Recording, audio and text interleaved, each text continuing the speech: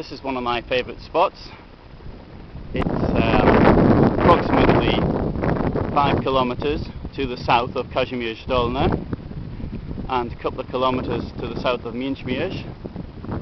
Coming around here we see this uh, wonderful view of the Vistula River and the island in the Vistula River and we can see here how uh, shallow the Vistula is because uh, we can see the sand under it, the sandbanks here completely on, on, on, the near side and also on the far side, we can't see it completely because we're uh, uh, some distance away, but uh, there's a lot of, lot of sand.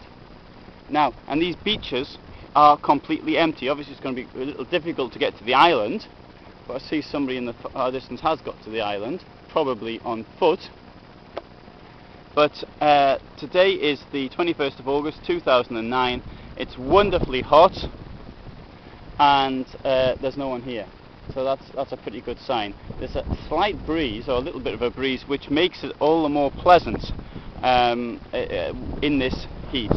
Now up there on the hill we have the castle at uh, Janowiec and the way to get there is either to go into Kazimierz and take the uh, boat across or alternatively you have to drive up to Puławy, across the bridge and then come back again. Another way, not that I've tried it, is to walk across the river which I'm sure is perfectly possible uh, from here.